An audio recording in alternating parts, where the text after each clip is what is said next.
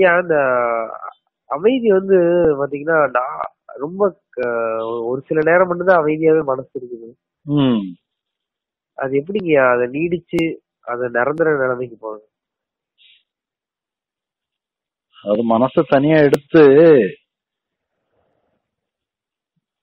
கேக்குதா? கேக்குது கேக்குது. மனசு தனியா எடுத்து உருளை. ஒரு இரும்பு உலையில வச்சு அடிச்சு கட்டி வச்சிட வேண்டியதுதான். இல்ல. மனதனுடைய இயல்பே அதுதானே? ஆமாங்கய்யா. மனதனுடைய இயல்பே அலைபாயிறது தான் மனதனுடைய. இயல்பே அலைபாயிறது தான் அதனால அதை வந்து நீங்க உன்னோட இருக்கணும்னு நினைச்சான்னா நினைப்பு தான் தப்பு. அது அப்படிதான் இருக்குன்னு எடுத்துக்கிட்டீங்கன்னா சரியா வந்துடும் மனசுங்கிறதே அலைபாய்ஞ்சாதானே மனசு. அசைறதுக்கு பேர் தான் மனசுங்கிறது அசையாம இருக்கிறது அமைதி இருக்க மாட்டேங்குதுங்க அசையாம இருக்கிறது வந்து புத்தி. புத்தியில தான் ஸ்திரமா இருக்கணும் ஒழிய மனதுல ஸ்திரமா இருக்கணும்னு அவசியம் இல்லை. மனது வந்து இந்த மாதிரி பிளெக்சிபிளா இருக்கிறது தான் கரெக்ட் மனது வந்து ரிஜிடாவே இருக்கக்கூடாது. பிளெக்சிபிளா தான் இருக்கணும். புத்தி. வந்து ஸ்திரமா இருக்கும் புத்தியில ஸ்திரம் இருக்கணும்.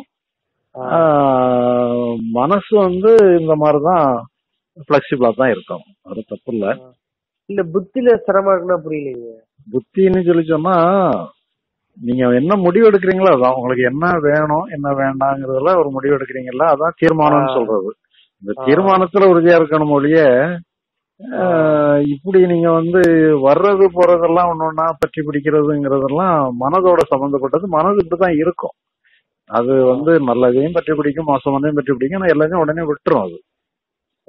அதுல ஒரு ஒரு ஸ்திரத்தன்மை வேண்டியது வந்து புத்தியில தானே ஒழிய மனசுல வேண்டியது இல்ல அதனால அது அதை வந்து நம்ம ஒன்னும் ஒரி பண்ண வேண்டிய அவசியம் இல்ல. நான் மறுபடியும் மறுபடியும் அந்த முடிவை எடுத்து ஒரு இலக்கு நோக்கி போய்கிட்டு தான் இருக்கிறேன் இல்ல மறுபடி மறுபடியும் எடுத்துட்டீங்கன்னு சொன்னாலே அது மனசு ஒழிய புத்தி கிடையாது. புத்திங்கிறது ஒரு தடவை தான் எடுக்கும் திருப்பி திருப்பி எடுக்காது. நீங்க ஒரு தடவை எடுத்துட்டு கூட நீங்க அதோட நிறைவேற்றுறதுக்கு முயற்சி பண்ண வேண்டாம். நீங்க முடிவெடுங்க. அந்த. அந்த முடிவை எக்ஸ்டாப்ளிஷ் பண்ணி எக்ஸிக்யூட் பண்றதுல தீவிரம் காட்ட வேண்டாம். முடிவு எடுத்துருங்க தீவிரம் காட்டாம விட்டுட்டீங்கன்னு சொன்னா அது வந்து வேணும் கொஞ்சம் ஒரு நல்ல முறையில சக்சஸ் ஆகும். எப்படி புரியலைங்க ஆக்சுவலா முடிவு எடுத்தா தானே அதை வந்து நம்ம முடிக்க முடியும் அதை அப்படியே விட்டுட்டோம்னா அது எப்படி ஃபார். Example for. எக்ஸாம்பிள் நான் வந்து ஒரு சில விஷயங்கள் வச்சிருக்கேன் ஒரு ரெண்டு மூணு மாசத்துல பண்ணணும் அப்படின்னு சொல்லிட்டு. ஆனா இதை நான் எத்தனையோ தடவை வச்சிருக்கிறேன் டார்கெட் இப்போ ஒரு நம்ம ஒரு ஒரு ஒருத்தர் ஒருத்தர் வராரு. அவர் வந்து இங்க யாரையோ ஒருத்தர் தேடிக்கிட்டு இருந்தவர் தான் அவரு நிட்டு கண்டுபிடிச்சதுக்கு பிறகு பிறகு திருப்பி திருப்பி நீங்க அவரை கண்டுபிடிச்சிட்டே இருக்க வேண்டியதில்ல அவரோட கண்டுபிடிச்சிட்டீங்கன்னா அவ்வளவுதான். நீங்க ஒருத்தரை தேடுறீங்க அவரை கண்டுபிடிச்சிடுறீங்க. அதோட. விஷயம் முடிஞ்சு போயிருதுல்ல. திருப்பி திருப்பி அவரை நீங்க தேடிக்கிட்டே இருக்கிறது இல்ல பழைய பழைய கண்டுபிடிச்சு உறிஞ்சு பிடிச்சிட்டே இருக்க வேண்டிய அவசியம் இல்லல்ல.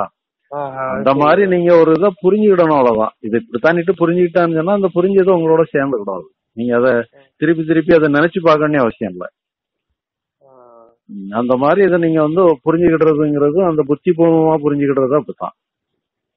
திருப்பி திருப்பி நீங்க அதை நினைக்க வேண்டிய அவசியம் இல்ல.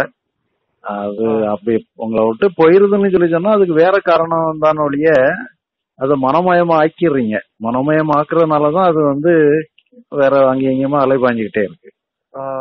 இப்ப நீங்க. சொல்றதையவே புரிஞ்சுக்கிட்டனால ஒரு சில நேரம் நல்லா அமைதியா இருக்கிறேன். உடனே மனசு வந்து கலக்கம் நின்று அமைதி ஆயிடுறேன் இல்ல நீங்க அமைதியாறதுங்கிறத கூட நீங்க எதிர்பார்க்க கூடாது அது அமைதியானாலும் சரி எது வேணாலும் அதனால தான்.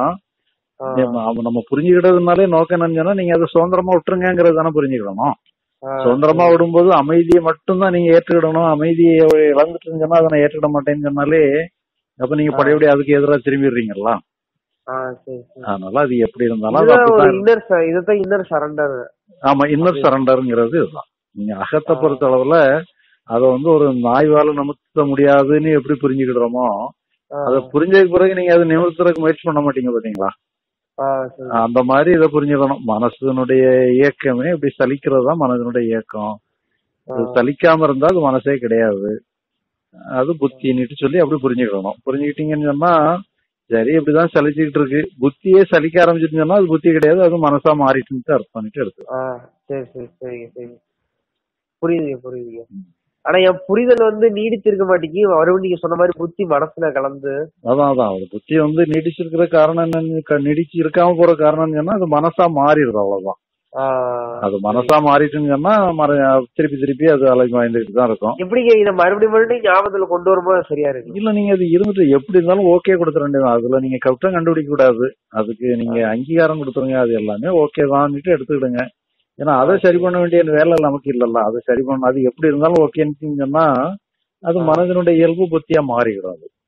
சரிங்க சரிங்க. அதனால அது அது இயற்கையா சாதாரணமான விஷயம் அது தானா நடக்கக்கூடிய நம்ம முயற்சி பண்ணி செய்ய வேண்டியது இல்ல சரிங்க. ரொம்ப நன்றிங்க. உங்களோட பேசினா கொஞ்சம் புரியுது. புரிதல் வருது. சரி. ரொம்ப நன்றி. நீங்க